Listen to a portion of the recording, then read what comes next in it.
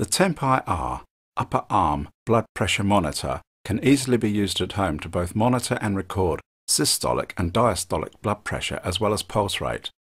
Blood pressure rises and falls naturally throughout the day, so you should try to take your measurements at least twice a day and about the same times. It is important to wait for 30 minutes after eating, having a bath, exercising, smoking, or drinking alcohol or coffee as all of these will affect the results. Plug the pneumatic tube into the base unit. Sit comfortably at a table and rest your arms with your feet flat on the floor. To get the most accurate result, it is best to sit quietly for 5 to 10 minutes.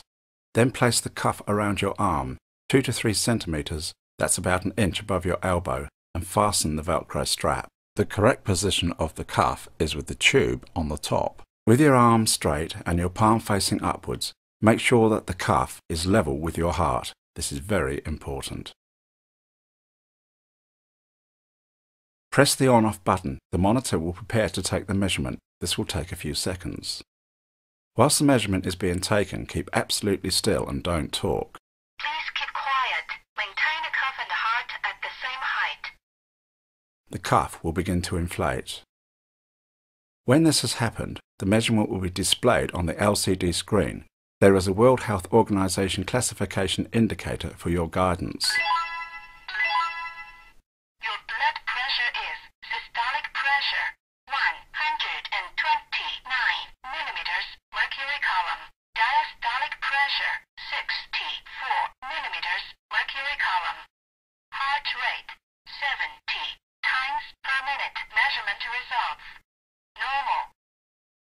For the breast results, you should repeat the measurement two or three times, about two or three minutes apart and while still sitting at the table.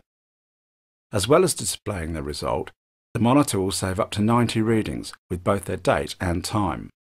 Press the MEM button once. The first result displayed is the average of the latest three readings.